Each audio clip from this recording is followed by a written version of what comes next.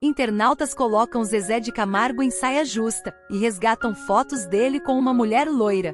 Detalhe: áudio da loira falando do Zezé cai na internet e vira um dos assuntos mais comentados do momento. Antes de te contar todos os detalhes e te mostrar o áudio, dá uma força pra gatinha aqui. Se inscreva agora no nosso canal para ficar por dentro das notícias dos famosos e não perder nada. E ative o sininho para ser avisada toda vez que a gente postar um novo vídeo, tá bom?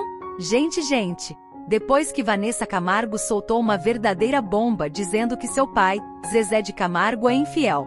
Internautas vazam áudio da loira que tirou diversas fotos com o cantor. Escute agora. Cara, vocês não têm ideia, meu Deus, dessa situação que aconteceu comigo com o Zezé, cara.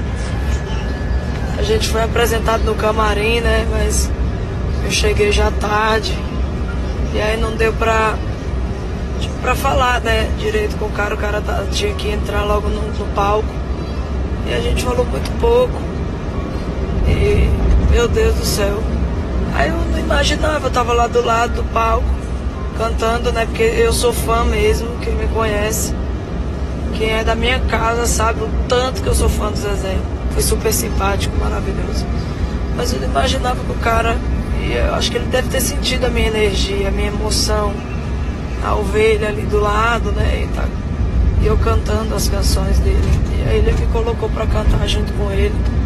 Eu não sei, te juro, cara, como é que eu consegui cantar, porque eu sou real, assim, muito, muito, muito fã dele. Ele é o meu maior ídolo no Brasil.